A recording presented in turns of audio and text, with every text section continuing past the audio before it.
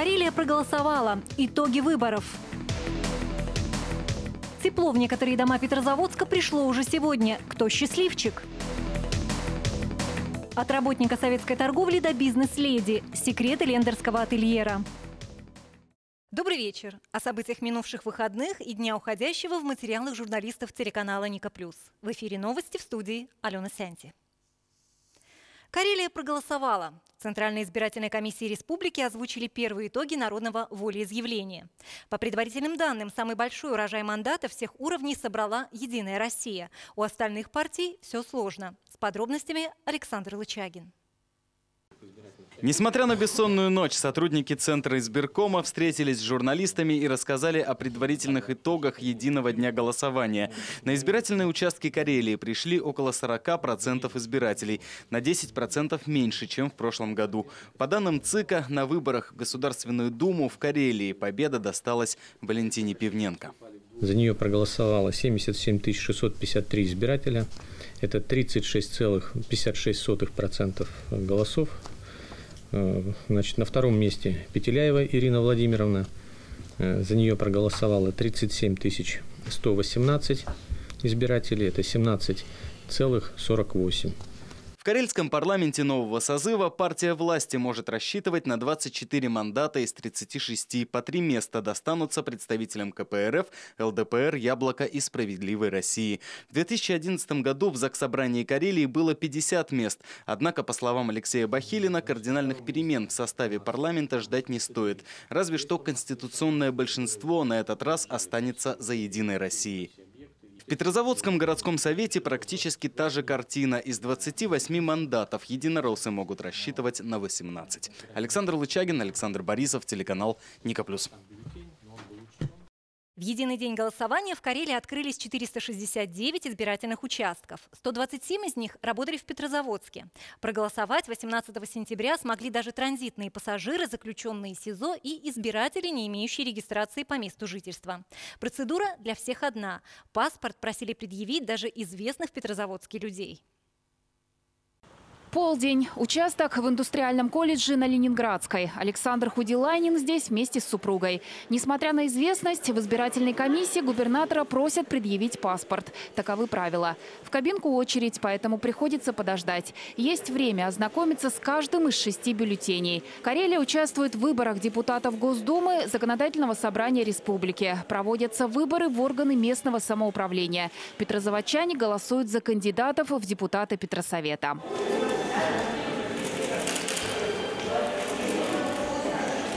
После голосования Александр Худиланин общается с наблюдателями. На нарушения не жалуются. Говорят только, что мерзнут.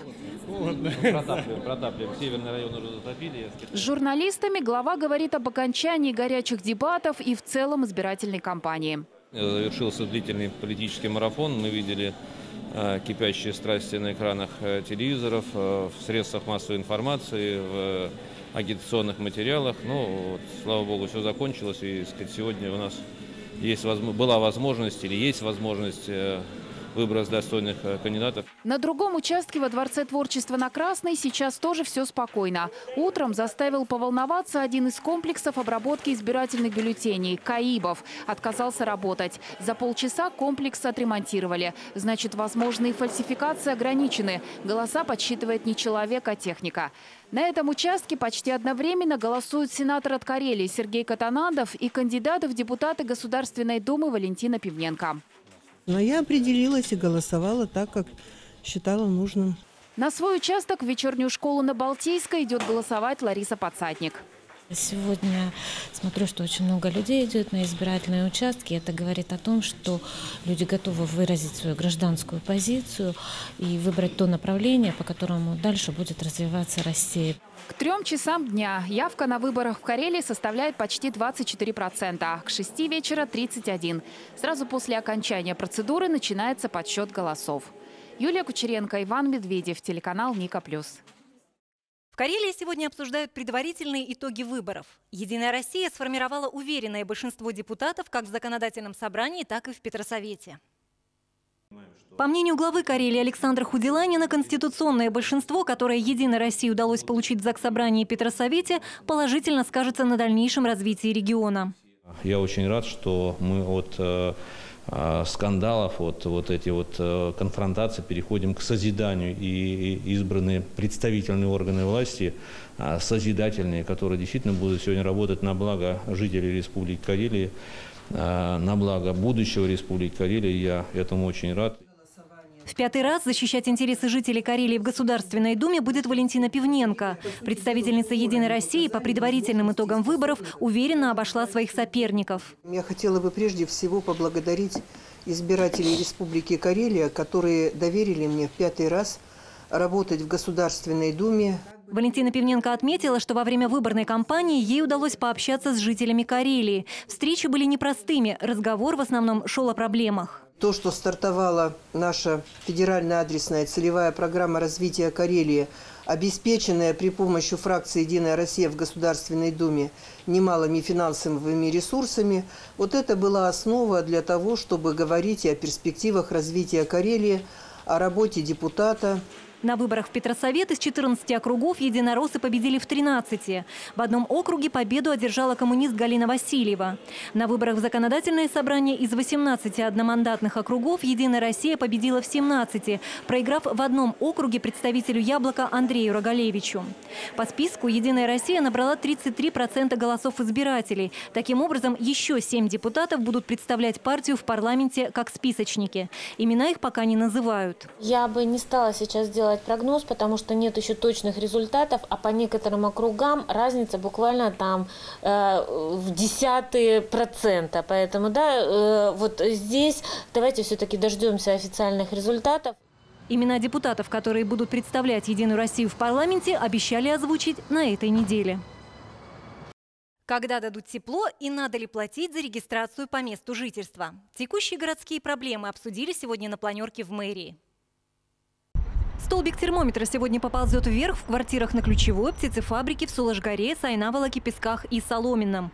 В остальных районах подключение к отоплению начнется 21 сентября. Чиновники просят жителей набраться терпения и ждать тепла в течение дня.